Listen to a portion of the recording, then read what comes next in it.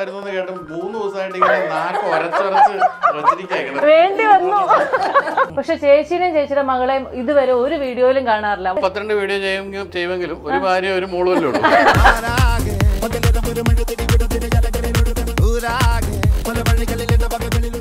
ചേച്ചിയോട് പറഞ്ഞിട്ടുള്ള എന്തെങ്കിലും ഒരു തഗ് ഓർമ്മകളുണ്ടോ ചേച്ചിക്ക്? ഞങ്ങളുടെ കല്യാണമായിരുന്നു വലിയൊരു തഗ്. ഈ കണക്ക് ടീച്ചർ ആയതുകൊണ്ട് ജീവിതം ഭയങ്കര ഭയങ്കര എല്ലാം കണക്ക് കൂട്ടി ജീവിക്കുന്ന ഒരാളാണ്. അല്ല അല്ല. കണക്ക് കൂട്ടി ജീവിക്കുന്നില്ലെന്ന് മാത്രമല്ല തോന്നുന്നുണ്ട് നാലും മൂന്നും എത്രയെന്ന് വെച്ച് ഇപ്പോഴും പറയില്ല വലിയ വലിയ കാര്യങ്ങളൊക്കെ പറയും. ഇന്റഗ്രേഷൻ കാൽക്കുലസ് എന്നൊക്കെ പറയും. പക്ഷെ നാലും മൂന്നും എഴുതി വെച്ചാൽ ഇപ്പോഴും സമയം എടുക്കും ചേട്ടാ അപമാനിച്ചു കഴിഞ്ഞി ഞാൻ പോയിക്കോട്ടെ. ചേട്ടൻ ഒരു കാര്യം എന്താ പറയാ? ഫുൾ ടൈം ചിരിച്ചോണ്ടിരിക്കുന്ന ഒരു ഭാര്യ. ക്യാമറ ഓഫ് ചെയ്ത് കഴിഞ്ഞാൽ ഇങ്ങനെ തന്നെയാണോ? അതോ ഞങ്ങൾ പോയി കഴിഞ്ഞാൽ ആൾ മാറും? ഞാൻ കരയാൻ അനുവദിച്ചിട്ടില്ല. ഈ വീടെന്നുള്ളത് ചേച്ചിയുടെ വലിയ ആഗ്രഹമായിരുന്നോ? ചേട്ടന്റെ ആഗ്രഹമായിരുന്നോ? മോളുടെ ആഗ്രഹമായിരുന്നോ? എനിക്ക് ഭയങ്കര ആഗ്രഹമായിരുന്നു ഒരു വീട്ടിലോട്ട് മാറുക എന്നുള്ളത് ഫ്ലാറ്റ് ചെയ്യുന്നു ഈ ചേട്ടൻ വാങ്ങിച്ചാൽ ചേച്ചിക്ക് ഏറ്റവും ഇഷ്ടമുള്ള കാർ ഏതാ? ഏത് ഏതൊക്കെ കാറാ ഇപ്പൊ ഉള്ളത് എന്റെ ഐഡിയ ആയി പോയി. നിന്റെ ഐഡിയ ആയിരുന്നു നിന്നെ ഞാൻ കൊന്നേനെ. ചേട്ടൻ എപ്പോഴെങ്കിലും തോന്നുന്നു പേടി തോന്നാറുണ്ടോ? ഇത് നാളെ യൂട്യൂബ് ഒക്കെ നിർത്തി കഴിഞ്ഞാൽ ഞാൻ എന്ത് ചെയ്യും? അങ്ങനെ ഉണ്ടല്ലേ? ദൈവമേ മൂർഖനെയാണല്ലോ ചവിട്ടിയത്.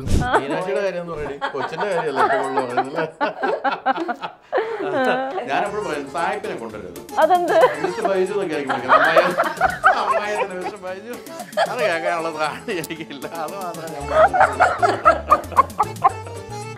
എന്താടി നിന്റെ മനസ്സിൽ എന്ത് മോളുടെ?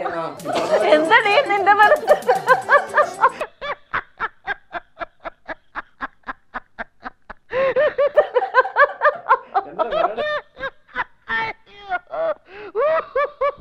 ഇന്ന് ഞാൻ ഈ വീട്ടിൽ വിരകിട്ടാ പോകുന്നത്. ഏ, വീട് കാറ് ആൾക്കാരെല്ലാം.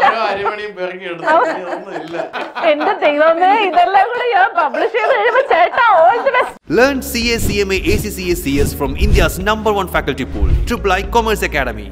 Hello everyone welcome to the show അപ്പൊ ബൈജു ചേട്ടനും മഞ്ജു ചേച്ചിയുമാണ് എന്നെ ഗസ്റ്റ് ആയിട്ടുള്ളത്. വെൽക്കം ചേട്ടാ ചേച്ചി. ഈ ചേട്ടനാണെങ്കിൽ ഫുൾ ടൈം ഒരു മാസത്തെ മുപ്പത് ദിവസം ഉണ്ടെങ്കിൽ മുപ്പത്തിരണ്ട് വീഡിയോ അപ്ലോഡ് ചെയ്യുന്നത്. പക്ഷെ ചേച്ചിയുടെയും ചേച്ചിയുടെ മകളെയും ഇതുവരെ ഒരു വീഡിയോയിലും കാണാറില്ല. വളരെ അപൂർവം ഒരു മിനായം പോലെ കാണലേ ഉള്ളൂ. എന്താ എന്താ സംഭവം? ചേട്ടൻ കൊണ്ടുവരാത്തതാണോ? അല്ല അല്ല അല്ല. ഞങ്ങൾക്ക് രണ്ടുപേർക്കും അത്ര താല്പര്യമില്ല. എന്താ ചേട്ടാ? ഇവർ മുപ്പത്തിരണ്ട് വീഡിയോ ചെയ്യുമെങ്കിലും ചെയ്യുമെങ്കിലും ഒരു ഭാര്യ ഒരു മോളുമല്ലേ ഉള്ളൂ. എത്ര പ്രാവശ്യം കാണിക്കുന്നത്? ഓ അതിന് ഈ ചേട്ടൻ ഇങ്ങനെ എല്ലാ തഗ് മറുപടികളൊക്കെ നേരത്തെ പ്രിപ്പയർ ചെയ്ത് വെക്കുന്ന അല്ല ചേച്ചി അല്ല അല്ല കാണാറുണ്ടോ? അല്ല. എപ്പോഴും ഇങ്ങനെ തന്നെ. ചേച്ചിയോട് പറഞ്ഞിട്ടുള്ള എന്തെങ്കിലും ഒരു തഗ് ഓർമ്മകളുണ്ടോ ചേച്ചിക്ക്? ഞങ്ങളുടെ കല്യാണമായിരുന്നു വലിയൊരു തഗ് അല്ലേ?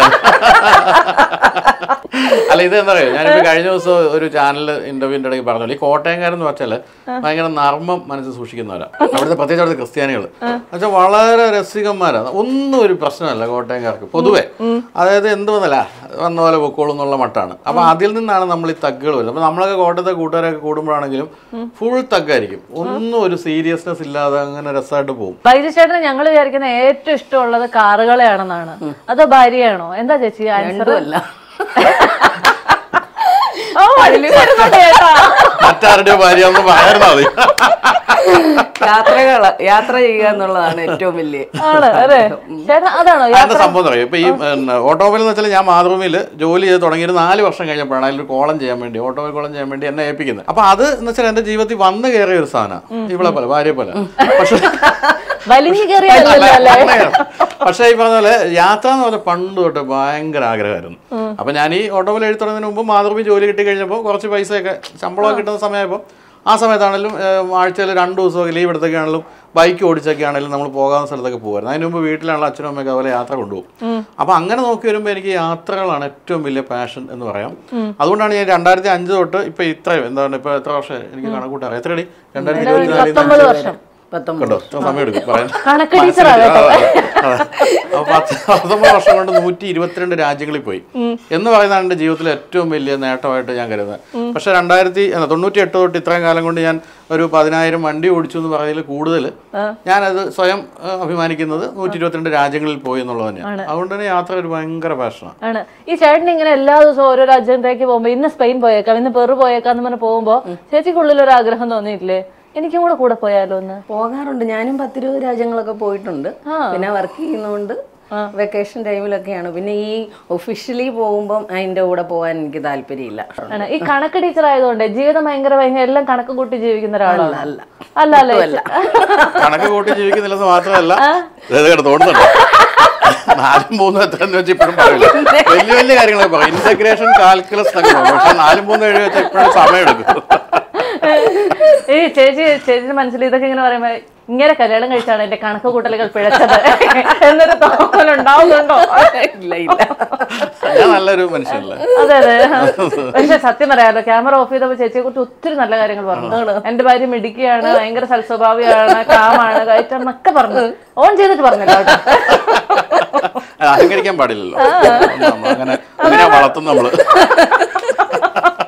ഈ മീനാക്ഷി എന്താ? ഇങ്ങനെ ഒരു സ്ക്രീനിലേക്ക് വരാൻ ഇഷ്ടപ്പെടാത്ത ആളാണോ? ഇല്ല അവൾ ഈ പറഞ്ഞാൽ പുതിയ തലമുറയിലെ പെൺപിള്ളേരുണ്ടല്ലോ. അതൊന്നും ഒരു സംഭവം അല്ലാന്ന് കരുതുന്ന മട്ടാന്ന് എനിക്ക് തോന്നുന്നു. അവരവരുടെ അവരവരുടേതായ ലോകം ഇൻസ്റ്റാഗ്രാം അതൊക്കെ ഉണ്ട്. ആ ഇവർ കൂട്ടുകാരെ കൂടെ കൂടെ കൂടുമ്പോഴത്തേക്ക് ഇൻസ്റ്റാഗ്രാം റീലൊക്കെ ഇടുന്ന കാണാം. അതല്ലാതെ ഇപ്പൊ ഇപ്പൊ വന്നിരുന്നു ഇപ്പൊ ഇങ്ങനെയൊക്കെ ചോദിച്ചാൽ അവളൊന്നും അങ്ങനെ തിരിച്ചോണ്ടൊക്കെ ഈ ചേട്ടനൊരു കാര്യം എന്താ പറയാ ഫുൾ ടൈം ചിരിച്ചോണ്ടിരിക്കുന്ന ഒരു ഭാര്യ. ക്യാമറ ഓഫ് ചെയ്ത് കഴിഞ്ഞാൽ ഇങ്ങനെ തന്നെയാണോ? അതോ ഞങ്ങൾ പോയി കഴിഞ്ഞാൽ ആൾ മാറും ഞാൻ കരയാൻ അനുവദിച്ചിട്ടില്ല. അതാണ് ഓ ചേച്ചി. നമ്മളിങ്ങനെ ഈ പതിനഞ്ച് ബുക്കൊക്കെ എഴുതിയ ആൾക്കാരെന്നൊക്കെ പറയുമ്പോഴത്തേക്ക് ഞാൻ വരയ്ക്കും എവിടെന്നെങ്കിലുമൊക്കെ പിന്നെ ഇപ്പൊ ഈ സിനിമ എടുക്കുന്ന ആൾക്കാരെ കുറിച്ച് പറയില്ലേ? ഏതെങ്കിലും റഷ്യൻ കഥകൾ മറ്റേ അവിടുത്തെ കഥകൾ അങ്ങനെ എവിടെന്നെങ്കിലും ഒക്കെ ചൂടുന്നതാണോ ചേട്ടാ യാത്രാഭരണത്തിൽ എവിടെ ചൂണ്ടുന്നത് അവനവന്റെ അനുഭവമല്ലേ എഴുതാൻ പറ്റും. ടോൾസ്റ്റോയ് പോയെന്നും പറഞ്ഞ് എനിക്ക് എഴുതാൻ പറ്റും. അതൊന്നുമില്ല നമ്മൾ സ്വന്തമായ രീതിയിൽ ഇപ്പം ഓട്ടോമൊബൈലിന്റെ കാര്യം നോക്കുകയാണെങ്കിൽ ഞാൻ ഓട്ടോമൊബൈൽ എഴുതി തുടങ്ങുന്ന സമയത്ത് ഇതിനൊരു ഭാഷയില്ല മലയാളത്തിൽ എല്ലാം ഇംഗ്ലീഷ്. മലയാളമേ ഇല്ല. കാരണം ഇന്ത്യയിൽ പോയിട്ട് കേരളത്തിലൊന്നും ഒന്നും കണ്ടുപിടിച്ചില്ല വണ്ടിയുടെ. അപ്പം നമ്മൾ എഴുതി തുടങ്ങുമ്പോൾ ഏറ്റവും വലിയ പ്രശ്നം ഇതായിരുന്നു. മലയാളത്തിലേക്ക് ഇത് എങ്ങനെ കൊണ്ടുവരും? അപ്പോൾ അതിനുവേണ്ടി ഞാൻ തന്നെ ഉണ്ടാക്കിയെടുത്തൊരു ഭാഷയാണ് ഇപ്പം മലയാളത്തിൽ എല്ലാവരും ഓട്ടോമൊബൈൽ പ്രയോഗിക്കുന്നത്. അതിങ്ങനെ ഈ ഇംഗ്ലീഷ് പൊങ്ങി നിൽക്കാത്ത രീതിയിൽ കുറച്ച് തമാശയൊക്കെ പറഞ്ഞ് അങ്ങനെ ഉണ്ടാക്കിയെടുത്തൊരു ഭാഷയാണ്. ആ ഭാഷയാണ് ഇപ്പം എല്ലാവരും ഉപയോഗിക്കുന്നത്. അത് ഞാൻ ആദ്യമായിട്ട് എഴുതി തുടങ്ങിയോണ്ടാണ് ആ സംഭവം. അപ്പോൾ അങ്ങനെ അതേ സാധനം തന്നെയാണ് ഇപ്പം ഈ പറഞ്ഞ പോലെ, ഏ, യാത്രാഭരണത്തിൽ ഞാൻ കൊണ്ടുവന്നിരിക്കുന്നത്. ഇപ്പം ഞാൻ അത്രയൊന്നും എഴുതാത്ത എനിക്ക് ഇപ്പം എഴുതി തുടങ്ങിയ സമയത്ത് തന്നെ സാഹിത്യ അക്കാദമി അവാർഡ് കിട്ടാൻ കാര്യവും ഭാഷയുടെ ഒരു പ്രത്യേകത ഉണ്ടാകും ചേട്ടൻ എല്ലാ ബുക്കും ചേച്ചി വായിച്ചിട്ടുണ്ടോ? ഒരെണ്ണം പോലും Shining. എന്തുത്തരം പറഞ്ഞാലും അതാണ് സത്യം. ഇതേ ചോദ്യം എന്റെ മുമ്പ് എന്നൊക്കെ എഴുതി കഴിയുമ്പോൾ വായിക്കാൻ തരാറുണ്ട്. ആ സമയത്ത് വായിക്കും. എന്റെ പുസ്തകങ്ങൾ വായിച്ചിട്ടുണ്ടെന്ന് ഇവളോടും. മനുഷ്യ നിങ്ങൾ കയറോ നിങ്ങൾ. അതെ എന്റെ പുസ്തകങ്ങൾ വായിച്ചിട്ടുണ്ടെന്ന് ഇവളോടും. എന്റെ വീഡിയോസ് കണ്ടിട്ടുണ്ടോ എന്റെ മോളോടൊന്നും ചോദിക്കില്ല. അല്ല യാത്രാ വിവരണമൊക്കെ ആ വായിച്ചു ഇവിടെ കുറച്ചൊക്കെ അന്നൊക്കെ അല്ലേ അന്നൊക്കെ കുറച്ചൊക്കെ വായിച്ചിട്ടുണ്ട്. എഴുതി പ്രിന്റ് ചെയ്യുന്നതിന് മുമ്പ് എഴുതിയിട്ട് കാണിക്കുമായിരുന്നു അല്ല ചേട്ടൻ എപ്പോഴെങ്കിലും ആഗ്രഹിച്ചിട്ടുണ്ടോ? മോളും കൂടെ ഇങ്ങനെ ഇങ്ങനെയൊക്കെയുള്ള കാര്യങ്ങളിലേക്ക് കുറച്ചൊന്ന് ഇൻവോൾവ് ആയിരുന്നെങ്കിൽ എന്ന്? ഇല്ല അല്ലേ? ഞാൻ തന്നെ വളരെ ആവശ്യമായിട്ട് വന്നു പെട്ടല്ലേ അല്ലാതെ ഇപ്പൊ ഇതൊരു പാഷൻ ആയതുകൊണ്ട് ഒന്നും വന്നുപെട്ടല്ല നമ്മളൊരു ഒരു പ്രൊഫഷണൽ ഭാഗമായിട്ട് വന്നുപെട്ടോ അപ്പം മീനാക്ഷിയുടെ കാര്യത്തിൽ അവളൊന്നും അത് നമുക്ക് അറിയാം ചില കുട്ടികളുടെ കാര്യത്തിൽ. ഇപ്പം നമ്മളിപ്പോൾ ആദർശയുടെ ഒക്കെ മക്കൾ. എന്ന് പറഞ്ഞാൽ ഐഷയൊക്കെ ആണെങ്കിൽ അവളൊക്കെ അവൾ ദിലീപിന്റെ മോൾ മീനാക്ഷി. ഇതൊക്കെ എല്ലാം മീനാക്ഷിയുടെ നമ്മുടെ മീനാക്ഷിയുടെ ഫ്രണ്ട്സാണ് അപ്പൊ ഇവരൊക്കെ കൃത്യമായിട്ടും ഒരു ഒരു അത്തരത്തിലുള്ള കാര്യങ്ങൾ ഭയങ്കര ഇഷ്ടമുള്ളവരെ നമുക്ക് പണ്ട് തൊട്ടേ മനസ്സിലായിട്ടുണ്ട്. പക്ഷെ മീനാക്ഷിയെ കുറച്ച് ഒതുങ്ങിയ ടൈപ്പാണ് നമ്മുടെ മീനാക്ഷി കുറച്ച് ഒതുങ്ങിയ ടൈപ്പാണ് അതുകൊണ്ട് അവളൊന്നും ഇവരുടെ കൂടെ കൂടുമ്പോൾ എന്തെങ്കിലുമൊക്കെ ചെയ്യുന്നല്ലാതെ ബാക്കി ഒതുങ്ങി മിണ്ടാതൊക്കെ ഇരിക്കുകയുള്ളൂ സാധാരണ പറയാ ഒറ്റ കുട്ടികളുള്ള അടുത്ത് ഭയങ്കര പാമ്പറിംഗ് ആയിരിക്കും നിങ്ങളും അങ്ങനെ തന്നെയാണോ? അതെ. ആണോ? നമുക്ക് കിട്ടാത്ത കാര്യമാണ് കാരണം എന്നെ അടിച്ച് പൂച്ച വളർത്തിയത്. ആകുമ്പോഴത്തേക്കും പൊതുവെ ഭയങ്കര സ്ട്രിക്റ്റ് ആയിരിക്കും പഠിക്കുന്ന സമയങ്ങളിൽ സ്ട്രിക്റ്റ് ആയിരുന്നു. സ്ട്രിക്റ്റ് ആണ് സ്ട്രിക്റ്റ് ആണ്. മറ്റേ രണ്ട് രണ്ടാണല്ലോ. സ്ട്രിക്റ്റ് ആയിട്ടൊക്കെ തന്നെയാണ്. വെച്ചാൽ നമ്മളങ്ങനെ വഷളായി പോകാതിരിക്കാൻ വേണ്ടിയൊക്കെ നോക്കിയാ വളർത്തിയത്. പിന്നെ ഇവൾ കുറച്ച് ഈ പറഞ്ഞല്ലോ ഒതുങ്ങിയ ടൈപ്പാ പഠിക്കുന്ന കാര്യത്തിലൊന്നും മോശമില്ലായിരുന്നു. നമ്മൾ പറഞ്ഞു പഠിപ്പിക്കേണ്ട കാര്യത്തിൽ അതുകൊണ്ട് തന്നെ നമുക്ക് അധികം തല്ലണ്ടി ഒന്നും വന്നിട്ടില്ല അങ്ങനെ. ഈ ചേട്ടൻ വാങ്ങിച്ചാൽ ചേച്ചിക്ക് ഏറ്റവും ഇഷ്ടമുള്ള കാർ ഏതാ? ഏത് ഏതൊക്കെ കാറാ ഇപ്പൊ ഉള്ളത്. എന്നിട്ട് വേണമല്ലോ അത് പറയാം എണ്ണുന്നു. ആ ബെൻസ് അത് കൊടുത്തു. അപ്പൊ അത് ബെൻസ് പറ്റില്ല ഇഷ്ടമായിരുന്നു. ആണോ ബെൻസ് ഇഷ്ടായിരുന്നു ഇഷ്ടമായിരുന്നു. ഇവക്കും മീനാക്ഷിക്കും ഇഷ്ടമായിരുന്നു. കൊടുക്കണ്ടെന്ന് ഞങ്ങൾ പറഞ്ഞിരുന്നു അന്നേ ബെല്ലിനോ കൊടുത്താൽ മതി. അന്നൊരു ഏകാധിപതിയുടെ സ്വരമാണോ അവിടെ കേട്ടത്? അതുകൊണ്ടല്ല ഇ എം ഐ ആലോചിച്ചിട്ട് കൊടുത്ത അത്ര അധികം ഓടിക്കേണ്ടാത്തൊരവസ്ഥയിലേ. അത്രയും പൈസ ഇ എം ഐ കൊടുത്ത് നിലനിർത്തണമെന്ന് വിചാരിച്ചാ പിന്നെ എപ്പോഴെങ്കിലും ആവശ്യം വരുമ്പോൾ പക്ഷെ ഇവളുടെ ഞാൻ പറഞ്ഞു നേരത്തെ പറയാം റേഞ്ച് ഓവർ അത് ഇവരുടെയൊക്കെ ഒരു ആഗ്രഹം. അതായത് ഞാൻ എനിക്ക് എല്ലാ വണ്ടികളും ഓടിക്കാൻ കിട്ടുമല്ലോ. അപ്പൊ നമ്മൾ വീട്ടിൽ കൊണ്ടുവരും. കൊണ്ടുവരുമ്പോൾ ഇവർ രണ്ടുപേരും താല്പര്യം എടുത്ത് നമുക്കൊന്ന് കയറണം എന്ന് പറയുന്ന എപ്പോഴും റേഞ്ച് റോവറിന്റെ വണ്ടികളില്ല. ബാക്കിയൊന്നും ആരും മൈൻഡ് ചെയ്യാറില്ല. ഇവിടെ കൊണ്ടുവന്നിട്ടാൽ ഇവരൊന്നും മൈൻഡ് പക്ഷെ അത് വരുമ്പോഴത്തേക്കും ഒന്ന് പോയിട്ട് വരാന്നൊക്കെ പറഞ്ഞ് എവിടെയെങ്കിലൊക്കെ പോയിട്ട് വരും. ഈ ദൈശേട്ടന്റെ വീഡിയോസിലൊക്കെ എന്തായാലും നെഗറ്റീവ് കമന്റുകളൊക്കെ വരുന്ന ചേച്ചി കാണാറുണ്ടോ? കാണാറുണ്ട് കാണാറുണ്ട്. ആണോ? അതിനെന്തെങ്കിലുമൊക്കെ പ്രതികരിക്കും ആദ്യ കാലങ്ങളിലൊക്കെ എനിക്ക് ടെൻഷൻ വരും ഞാൻ പറയാറുണ്ട്. ഇപ്പൊ ഇപ്പൊ ഞാൻ നോക്കാറില്ല. രാഷ്ട്രീയം വരുമ്പം ഭയങ്കര ടെൻഷൻ ആകാറുണ്ട്. അന്നേരം ഞാൻ പറയും അങ്ങനെയൊന്നും ചെയ്യാൻ പാടില്ല. രാഷ്ട്രീയത്തിലോ ആ തമാശകൾ എനിക്ക് ഇഷ്ടമല്ല. ഇഷ്ടമല്ല നമുക്ക് പേടിയാ. പേടിയാ. വധഭീഷണിയൊക്കെ വന്നിട്ടുണ്ട്. ഇതിപ്പോ അടുത്ത കാലത്ത് വന്നു. എനിക്ക് മെയിലൊക്കെ വന്നു. രണ്ട് മാസം കൊന്നു കളയെന്നും പറഞ്ഞു. നമ്മുടെ ഒരു പ്രത്യേക പാർട്ടി. ആരായിരിക്കും അറിയാമല്ലോ ഭീഷണി അപ്പൊ അതൊക്കെ വരാറുണ്ട്. ഞാൻ പിന്നെ ഒന്നും ശ്രദ്ധിക്കാറൊന്നുമില്ല. ഞാൻ നമ്മളെ നമ്മൾ ഈ സമൂഹത്തിൽ ജീവിക്കുമ്പോൾ പല കാര്യങ്ങളും പ്രതികരിക്കാൻ തോന്നും. ഞാനത് എന്റെ മീഡിയ കൂടെ പ്രതികരിക്കുന്നു. എന്ന് വെച്ചപ്പോൾ അങ്ങനെ ഭയങ്കരമായിട്ട് ചീത്ത വിളിക്കുന്നു നമ്മളൊരു തമാശ വേണ്ടി ഈ പറഞ്ഞ തഗ്ഗൊക്കെ അടിച്ചു പോകുള്ളൂ പക്ഷെ അതുപോലും ഉമ്മാർക്ക് സഹിക്കാൻ പറ്റിയല്ല. ആ. അതിന് വധഭീഷണിയൊക്കെ വരുന്നുണ്ട്. അപ്പൊ ഇതൊക്കെ ചേച്ചി അറിയാറുണ്ടോ? ഇങ്ങനെയൊക്കെ ഈ വന്നത് വധഭീഷണി ഒന്നും എന്നോട് പറഞ്ഞിട്ടില്ല. അതെ പിന്നെ ഉറക്കം പോകില്ലേ അല്ല ഞാനും ഒന്നും മൈൻഡില്ല ഞാൻ എന്റെ ഒരു ഫ്രണ്ട് എസ് ഐ ഉണ്ട് പോലീസ് അവനോട് വിളിച്ചു പറഞ്ഞു നീ മൈൻഡ് ചെയ്യണമെന്നു ചേട്ടൻ എപ്പോഴെങ്കിലും തോന്നി പേടി തോന്നാറുണ്ടോ? ഇത് നാളെ യൂട്യൂബ് ഒക്കെ നിർത്തി കഴിഞ്ഞാൽ ഞാൻ എന്ത് ചെയ്യും? അങ്ങനെ എപ്പോഴും തോന്നും. ഉണ്ടല്ലേ? ചുമ്മാ ഞങ്ങളൊന്ന് സംസാരിക്കാം. അതെന്താണെന്നറിയോ വീണ ഈ കാര്യങ്ങളൊന്നും. ഇപ്പൊ ഞാൻ മാഗസിൻ തുടങ്ങി. മാഗസിൻ തുടങ്ങുന്ന സമയത്ത് ഞാൻ മാതൃഭൂമി കുറച്ചാലും ജോലി ചെയ്തെന്നല്ലാതെ ഒരു മാഗസിൻ നടത്തുന്ന എങ്ങനെയാണെന്ന് ഇതിന്റെ മാർക്കറ്റിംഗ് സർക്കുലേഷൻ ഇതിനെപ്പറ്റി ഒരു ധാരണ ഇല്ലാത്ത സമയത്താണ് ഞാൻ ഒരു മാഗസിൻ അങ്ങ് തുടങ്ങി. യൂട്യൂബ് എന്താണെന്ന് പോലും അറിയാത്ത സമയത്താണ് ഒരുത്ത വന്നിട്ട് പറഞ്ഞു യൂട്യൂബ് തുടങ്ങിയ ഞാൻ ബാക്കപ്പ് നിന്ന് സഹായിക്കാൻ അവൻ പിന്നെ യൂട്യൂബ് ചാനൽ കൊണ്ട് പോയിരുന്നുണ്ട് കുറച്ച് അത് വേറെ എന്നാ എന്നാൽ പോലും അങ്ങനെ പറയുമ്പോൾ എന്നാ ശരി അത് തുടങ്ങി. ഇതൊക്കെ ഇതുപോലെ അടുത്തൊരു സാധനം വരുമ്പോൾ നമ്മൾ അങ്ങനെ മാറിയേ പറ്റൂ. കാരണം വേറെ ഒരു വരുമാനം ഇല്ലല്ലോ. അതുകൊണ്ട് അപ്പൊ തന്നെ എങ്ങനെയാലും പഠിച്ച് ആ ഒരു മാധ്യമത്തിന് പറ്റുന്ന ആളാണ് നമ്മളെങ്കിൽ അതിലേക്കും കടക്കും. എന്നല്ലേ പറയാൻ പറ്റൂ. പക്ഷെ ചേച്ചി ഞാനൊരു കാര്യം കേട്ടെ ഈ മാതൃഭൂമി ജേർണലിസ്റ്റ് ആയിരുന്ന ഭർത്താവ് അങ്ങനെ കണ്ടിട്ടായിരിക്കുമല്ലോ ജോലിയും കൂലി ഉണ്ടെന്ന് കാണുമ്പോഴുള്ള വീട്ടുകാർ നമ്മളെ കെട്ടിച്ചു കൊടുക്കുന്നത്. അത്. കഴിഞ്ഞിട്ട് ഇങ്ങനെ പണിയൊക്കെ കൊടുത്തതായിട്ട് ഞാൻ നല്ല അന്തസ്സായി റിസൈൻ ചെയ്ത് ഇറങ്ങി എന്ന് പറയുമ്പോഴത്തേക്ക് ചേച്ചിയുടെ മനസ്സിലൂടെ എന്തൊക്കെയായിരുന്നു കടന്നുപോയത്? എനിക്ക് ടെൻഷൻ ഉണ്ടായിരുന്നു. പിന്നെ എനിക്ക് അറിയാം എന്തെങ്കിലുമൊക്കെ. എന്നാലും പറയുന്നു ചേട്ടാ ഇങ്ങനെ ഒന്നും ചെയ്യട്ടെ ചേട്ടാ വല്ല പറഞ്ഞിരുന്നോ? അത് റിസൈൻ ചെയ്ത് കഴിഞ്ഞിട്ടാണ് ഇതെല്ലാം കഴിഞ്ഞിട്ടാണല്ലേ അറിയുന്നത് ഞാൻ ആകെ എന്റെ അച്ഛനോട് അച്ഛനോട് മാത്രമേ പറഞ്ഞുള്ളൂ. അച്ഛനോട് പറഞ്ഞ നീ ധൈര്യമായിട്ട് റിസൈൻ ചെയ്തു. നിനക്ക് സ്വന്തമായിട്ട് വേറെ ജോലി കണ്ടുപിടിക്കാൻ പറ്റുമെന്നുണ്ടെങ്കിൽ നീ റിസൈൻ ചെയ്തോളാം പറ. റിസൈൻ ചെയ്ത് രാത്രി വന്നിട്ട് പറഞ്ഞു റിസൈൻ ചെയ്തു? അപ്പൊ ഇവരൊക്കെ ഞെട്ടിപ്പോയി. കാരണം നല്ലൊരു ജോലിയല്ലേ? പെൻഷൻ വരെയുള്ള ജോലി മാതൃഭൂമി ഒരു പത്രത്തിൽ അപ്പോൾ എന്റെ മനസ്സിൽ ഒന്നുമില്ല പൈസ ഒന്നുമില്ല അക്കൗണ്ട് ഞാൻ നേരത്തെ പറഞ്ഞില്ല രണ്ടായിരത്തി നാനൂറ് രൂപ എന്റെ അക്കൗണ്ടിൽ കിടപ്പുള്ളൂ. അത് വെച്ചിട്ടങ്ങ് ഇറങ്ങി അച്ഛാ പിന്നെ ഒരു കാര്യം ഞാൻ ആരും പറഞ്ഞാൽ കേൾക്കുന്ന ആളൊന്നുമല്ല. ഇപ്പൊ ഇവരൊക്കെ എന്റെ അടുത്ത് റിസൈൻ ചെയ്യേണ്ടെന്ന് പറഞ്ഞാലും ഞാനത് എന്റെ മനസ്സിൽ അതുകൊണ്ട് പറഞ്ഞിട്ട് കാര്യം നിനക്ക് അറിയാം. പക്ഷേ എങ്കിൽ പോലും ഞാൻ പിന്നെ ആദ്യത്തെ കുറേ ദിവസം ഒരു എട്ട് പത്ത് ദിവസം എന്താണെന്ന് ഫുൾ ബ്ലാങ്ക് ആയിട്ട് വരുമ്പോൾ വീട്ടിൽ ഇരിക്കുക എന്നിട്ട് ഞാൻ ചെയ്തതെന്നറിയോ ശ്രീകുമാർ അരൂക്കുറ്റി എന്ന് പറയുന്ന ഒരു ആനയുടെ ഒക്കെ പ്രോഗ്രാം ചെയ്യുന്ന ആളാണ് നമ്മുടെ കസിനാണ് ശ്രീകുമാറിന്റെ എന്നോട് സംസാരിച്ചപ്പോൾ എന്റെ ഒരു റൂം അവിടെ ഞാൻ എടുത്തിട്ട് റൂം ഒഴിയുന്ന ഒഴിയാൻ പോവാ. വേണമെങ്കിൽ പൈസ എടുത്തോളം പോകും ഞാൻ അതെന്താ നൂറ്റി ഇരുപത്തഞ്ചോ നൂറ്റമ്പത് രൂപ എന്ന് വാടകയ്ക്ക് ഞാൻ ആ റൂം എടുത്ത് രാവിലെ അവിടെ പോയിരിക്കും ഊണൊക്കെ കൊണ്ടുപോകും. അതിന് പുസ്തകമൊക്കെ കൊണ്ട് അവിടെ നിന്ന് കുറച്ച് വായിക്കും. അങ്ങനെ ഒരു അഞ്ചെട്ട് ദിവസം കഴിഞ്ഞപ്പോൾ എനിക്ക് തോന്നി ഒരു മാഗസിൻ ഓട്ടോമൊബൈൽ മാഗസിനിൽ സാധ്യതയുണ്ടല്ലോ. പിന്നെ അതിനെപ്പറ്റി പഠിച്ചു. എന്നിട്ട് ആദ്യ കാലത്ത് എന്റെ കൂടെ വരാമെന്ന് പറഞ്ഞ ഇപ്പോൾ മാർക്കറ്റിംഗ് സർക്കുലേഷൻ ആയിരുന്നു എനിക്ക് ഏറ്റവും അറിയാത്ത കാര്യം. എഡിറ്റോറിയൽ നമുക്ക് ചെയ്യാൻ പറ്റും. അങ്ങനെ എന്റെ കൂടെ ധൈര്യമായിട്ട് തുടങ്ങിയോന്ന് പറഞ്ഞു ഒന്ന് രണ്ട് വലിയ സ്ഥാപനങ്ങളിലെ മാർക്കറ്റിംഗുകാർക്ക് കൂടെ വരാമെന്ന് അവരൊക്കെ അവസാനം കാലം മാറി ആരും വന്നില്ല. അപ്പോൾ അങ്ങനെ കുറേ പ്രശ്നങ്ങളിലൂടെയൊക്കെ ആദ്യം കടന്നു പോയിട്ടാണ് പിന്നെ കൂട്ടുകാരിൽ നിന്ന് തന്നെ എല്ലാവരും എനിക്ക് വരിസംഖ്യയൊക്കെ പിരിച്ചു തന്നു. അങ്ങനെയൊക്കെയാണ് ഞാൻ ആ മാഗസിൻ തുടങ്ങിയത്. അത് മലയാളത്തിലെ ഏറ്റവും സക്സസ്ഫുൾ ഒരു മാഗസിൻ ആയിരുന്നു. ടോപ്പ് ഗിയർ എന്ന് പറഞ്ഞിട്ട് ഞാൻ തുടങ്ങിയ സാധനം. അത് ഏറ്റവും നല്ല പ്രിന്റിംഗ് ക്വാളിറ്റിയിലെ മലയാളത്തിലെ ആദ്യത്തെ മാഗസിനൊക്കെയാണ് വലിയ സക്സസ് ആയിരുന്നു. മാതൃഭൂമി തന്നെ അതിന്റെ ഡിസ്ട്രിബ്യൂഷൻ എടുത്തു. അങ്ങനെയൊക്കെയാണ് നമ്മൾ മുന്നോട്ട് വന്നത്. അപ്പൊ ഞാൻ ഒട്ടും അറിയാത്തൊരു മേഖലയിൽ നമ്മൾ അന്ന് നന്നായിട്ട് പോയി. അതേപോലെ തന്നെ യൂട്യൂബിലും. പിന്നെ യൂട്യൂബ് വന്നപ്പോഴത്തേക്ക് ഒരു പത്ത് പതിനഞ്ച് വർഷം നമ്മൾ ഈ ടി വിയിൽ ഉണ്ടായ പ്രത്യക്ഷപ്പെട്ടിരുന്നുകൊണ്ട് നമ്മളെ പരിചയപ്പെടുത്തേണ്ട കാര്യമില്ല. മുഖപരിചയം ഉള്ളതുകൊണ്ട് ആൾക്കാരൊക്കെ പെട്ടെന്ന് വന്ന് വളരെ പെട്ടെന്ന് നമ്മൾ വൺ മില്യണിലേക്ക് എത്തി എന്നേ ഉള്ളൂ. ഈ ചേട്ടാ ഈ ഓട്ടോമൊബൈലൊക്കെ ആയതുകൊണ്ട് നമ്മൾ എല്ലാ ദിവസം പഠിച്ചുകൊണ്ടിരിക്കണോ അങ്ങനെ ഉണ്ടോ പ്രശ്നമുണ്ടോ? അല്ല പഠിച്ചുകൊണ്ടേയിരിക്കും സത്യം. ഇതിപ്പോൾ നമ്മൾ അഡാസ് ഫീച്ചേഴ്സ്. എന്ന് പറഞ്ഞാൽ ഏറ്റവും പുതിയ ഡ്രൈവർ അസിസ്റ്റൻസ് ഫീച്ചേഴ്സ് എല്ലാം വന്നു. ടോട്ടലി ന്യൂ സാധനങ്ങളാണ് എല്ലാം പുതുതായിട്ട് എല്ലാ പുതിയ വണ്ടികളൊക്കെ വന്നു തുടങ്ങി. അപ്പം മറ്റേ ലൈൻ തെറ്റിക്കഴിഞ്ഞാൽ അത് തിരിച്ച് സ്റ്റിയറിംഗ് പിടിക്കുന്നു. എമർജൻസി ബ്രേക്കിംഗ് ഇതൊക്കെ വന്നുകൊണ്ടിരിക്കുകയല്ലേ ഇപ്പം ഇങ്ങനെ ഓരോന്നും വരുമ്പോൾ നമ്മൾ അപ്ഡേറ്റഡ് ആയിക്കൊണ്ടിരിക്കണം. അപ്പോൾ ഒരു വണ്ടി കയറി ഇരുന്ന് കഴിഞ്ഞത് പറഞ്ഞു കൊടുക്കണമെങ്കിൽ ഇതെല്ലാം നമ്മൾ പഠിക്കണല്ലോ പിന്നെ ആ കാണുന്ന ഒരു സ്ക്രീനിന്റെ അകത്ത് എന്തൊക്കെ കാര്യങ്ങളാ ഇപ്പം? ഇല്ലേ? ഈ മാത്സ് ടീച്ചറോട് എല്ലാവരും ഏറ്റവും കൂടുതൽ ഡൗട്ട് ചോദിക്കാൻ വിളിക്കുന്ന പോലെ ചേട്ടനോട് ഈ കാറിന്റെ ഡൗട്ട് ചോദിക്കാനായിട്ടാണോ ഏറ്റവും കൂടുതൽ ആൾക്കാർ ചേട്ടൻ ഫോൺ വിളിക്കാറുള്ളത്? അതായത് നമ്മൾ ഇപ്പം ഒരാളും ബൈജു എന്നാർ എന്ന് പറയുന്ന ആൾ ചെയ്ത യൂട്യൂബ് ചാനൽ കണ്ടിട്ട് ഒന്നും മാത്രമല്ല വണ്ടി എടുക്കുന്നത്. ഇത് ഈ കോട്ടയം ഭാഷ ഉന്തിന്റെ തൊട്ട് തള്ളെന്ന് പറയുന്നത് എന്ന് പറഞ്ഞ പോലെ എല്ലാ കാര്യങ്ങളും പഠിക്കും. ആദ്യമായിട്ട് ഇത് വാങ്ങിച്ച ഒരാളോട് ചോദിക്കും. അതിനുശേഷം വായിച്ചൊക്കെ നോക്കും. പിന്നെ പോഷക നോക്കും. അവിടെ ഇവിടെ ഒക്കെ നോക്കിയിട്ട് ഏറ്റവും അവസാനം മനസ്സിൽ ഇങ്ങനെ ഒരു മൂന്ന് വണ്ടി ഉറപ്പിക്കുന്നു. എന്നിട്ടാണ് നമ്മളെ വിളിക്കുന്നത്. ചേട്ടാ ഇതിൽ ഏത് വണ്ടിയാണ് എന്ന് ചോദിക്കുന്നത്. അപ്പം നമ്മളും കൂടെ ആ കുഴപ്പമില്ല. അതിൽ ഈ വണ്ടി എടുത്തു എന്ന് പറയുമ്പോൾ എല്ലാവർക്കും ഒരു ധൈര്യമാണ്. അപ്പം ഞാനൊക്കെ വെളിയിൽ ഇറങ്ങി കഴിഞ്ഞാൽ എവിടെ പോയാലും ആരെങ്കിലും ഒക്കെ എപ്പോഴും വന്ന് പറഞ്ഞു ചേട്ടാ ചേട്ടൻ അന്ന് പറഞ്ഞില്ലേ ആ ആ വണ്ടി വീഡിയോ കണ്ടിട്ട് ആ വണ്ടി എവിടെ? ഇതെന്നൊക്കെ പറഞ്ഞ എല്ലാവരും വരുന്നുണ്ട്. അപ്പം അതിന്റെ അർത്ഥം ഒരു ഒരു ഘട്ടത്തിൽ അവർ നമ്മുടെ യൂട്യൂബിലൂടെ കടന്നു പോകുന്നുണ്ടെന്ന് തന്നെയാണ്. ഈ ചേച്ചി ഫുൾ ടൈം ഇങ്ങനെ ഭയങ്കര പോസിറ്റീവ് ആയിട്ടിരിക്കുന്നതുകൊണ്ട് ചേട്ടൻ ഭയങ്കര സമാധാനമാണ് ഞാൻ പോസിറ്റീവായിട്ട് ഇരിക്കുന്നുണ്ടല്ലേ അയ്യോ. അല്ല കാര്യമായിട്ട് പറഞ്ഞു അപ്പൊ ഞാനിവിടെ മുഖം വിർപ്പിച്ചിരിക്കുന്ന ടൈപ്പ് ഒരു മനുഷ്യനാണ് ഇവിടെ ചിരിച്ചോണ്ടിരിക്കുവോ? ഇല്ലേ? അങ്ങോട്ടും ഇങ്ങോട്ടും എനിക്ക് എന്റെ കാര്യത്തിൽ ഇപ്പൊ ഇവർക്ക് അറിയാം ഞാൻ ഇവിടെ വഴക്കൊക്കെ ഉണ്ടാക്കിയുണ്ടല്ലോ ഞാൻ ഇവിടെ ഇരിക്കില്ല.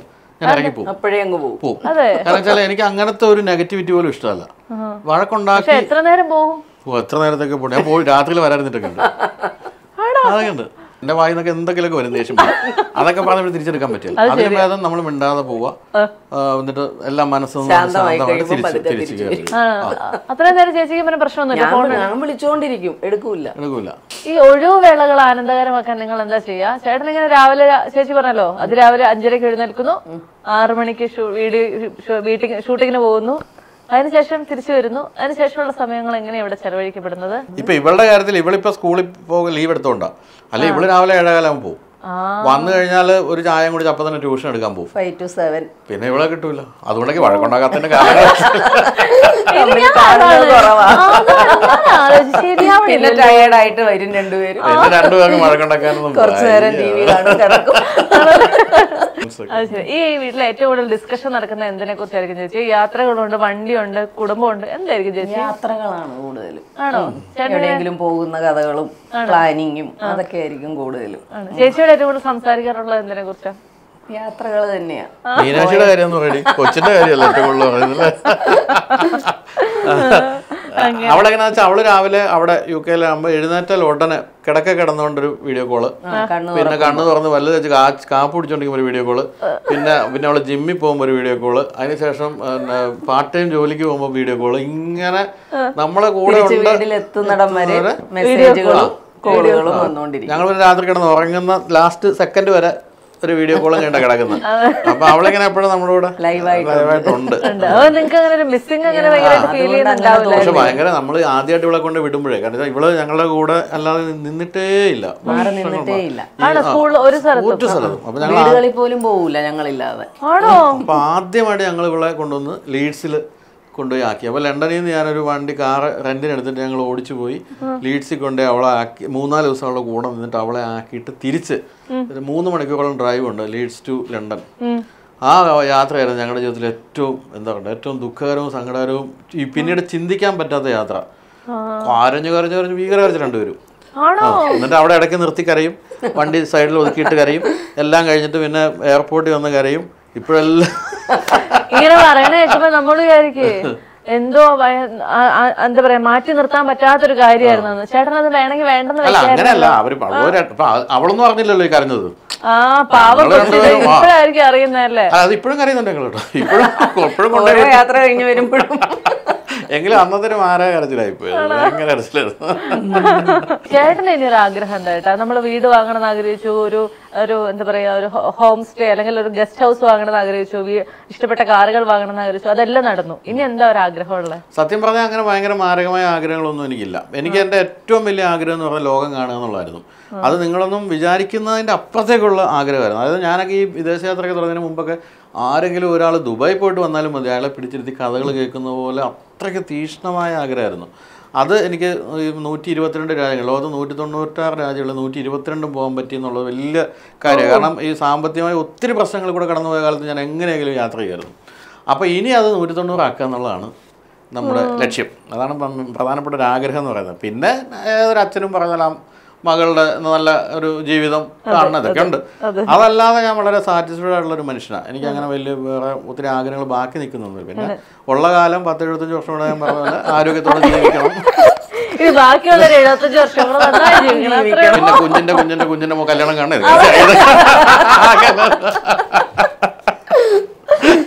ഇതുപോലെ കൊച്ചു കൊച്ചു ആഗ്രഹങ്ങൾ ചേച്ചിക്കുണ്ടോ നാല് തലമുറയ്ക്ക് അപ്പുറമുള്ള കല്യാണം കൂടണം അങ്ങനെയൊക്കെ. ഇല്ല ഇല്ല നീ മകളുടെ മോളുടെ കാര്യം. ഞാൻ അവളോട് അവൾ പറഞ്ഞു കൊടുക്കാറുണ്ട്. അവൾ ചോദിക്കും എനിക്ക് ഇഷ്ടമുള്ള ആളെ കെട്ടിക്കോട്ടെ എന്ന് ചോദിച്ചപ്പോൾ ഞാൻ അതിനായിട്ട് ധൈര്യമായിട്ട് കെട്ടിക്കും. പക്ഷെ ചില നിബന്ധനകളുണ്ട്. എന്തൊക്കെയാ? ഒന്ന് നായരായിരിക്കണം. നല്ല പൈസക്കാരനായിരിക്കണം. നല്ല കുടുംബമായിരിക്കണം. എന്റെ ദൈവമേ ഇതെല്ലാം കൂടി ഞാൻ publish ചേട്ടാ. തമാശ പറഞ്ഞതല്ലേ. ഞാൻ നമ്മളെന്ത് പറഞ്ഞ തമാശ പറഞ്ഞോട്ടെ ഇതിനെല്ലാത്തിനും ഉള്ളിന്റെ ഉള്ളിൽ. ഇതിപ്പോ എവിടുന്ന് ആരെ കൊണ്ടുവരുന്നത് എന്താ? ഞാൻ എപ്പോഴും പറയുന്നു സായിപ്പിനെ കൊണ്ടുവരരുത്. മിസ്റ്റർ ബൈജു എന്നൊക്കെ ആയിരിക്കും വിളിക്കുന്നത്. അമ്മായി അമ്മായി തന്നെ മിസ്റ്റർ ബൈജു. അത് കേൾക്കാനുള്ള ത്രാണി എനിക്കില്ല. അത് മാത്രമേ ഞാൻ പറഞ്ഞിട്ടുള്ളൂ. ചേച്ചിയുടെ മനസ്സിലെന്താ ഇങ്ങനെ? എന്താടി നിന്റെ മനസ്സിൽ എന്ത് മോളുടെ എനിക്ക് അങ്ങനെയൊന്നുമില്ല അവൾക്ക്. ഈ പറഞ്ഞതൊക്കെ എന്താ നിന്റെ മനസ്സിൽ എന്താ പറയണേ? ഇല്ല അതൊക്കെ ഇപ്പോഴത്തെ ഒരു അവസ്ഥയിൽ കെട്ടുകല എന്നാണല്ലോ പറയുന്നത്. കാര്യം പറയാൻ പോലും സമ്മതിക്കില്ല. നാലഞ്ചു വർഷത്തേക്ക് ഒന്നും ഇരുപത്തിനാല് ഒരു പിഞ്ചിളം കുഞ്ഞിനോടാണോ കല്യാണത്തെ കുറിച്ചൊക്കെ പറയുന്നത്? ഞങ്ങൾ അങ്ങനെ പറയുന്നില്ല. അവൾക്ക് ഇഷ്ടമുള്ളപ്പം കെട്ടിയാൽ മതി. ഇരുപത്തെട്ട് ഇരുപത്തി ഒമ്പത് വരെയൊക്കെ പോട്ടെന്ന് പറഞ്ഞിട്ടുണ്ട്. അപ്പത്തേക്ക് ആരെങ്കിലും കണ്ടുപിടിച്ചോ ഡോണ്ട് വറി അത്രേ ഉള്ളൂ അത്രേ ചേട്ടൻ ഏതായാലും മാട്രിമോണിയിൽ പൈസ കൊടുക്കേണ്ട അവസ്ഥ ഉണ്ടാവാതിരിക്കാനായിട്ടുള്ള ആശംസകൾ കേട്ടോ. അപ്പൊ ഏതായാലും കാര്യങ്ങളൊക്കെ അടിപൊളിയായിട്ട് നടക്കട്ടെ. Thank you so much guys. Thank you so much ചേട്ടാ. എല്ലാത്തിനും മറുപടി ഉണ്ട്. താങ്ക് യു ചേച്ചി. Learn CA, CMA, ACCA, CS from India's number one faculty pool, Triple I Commerce Academy.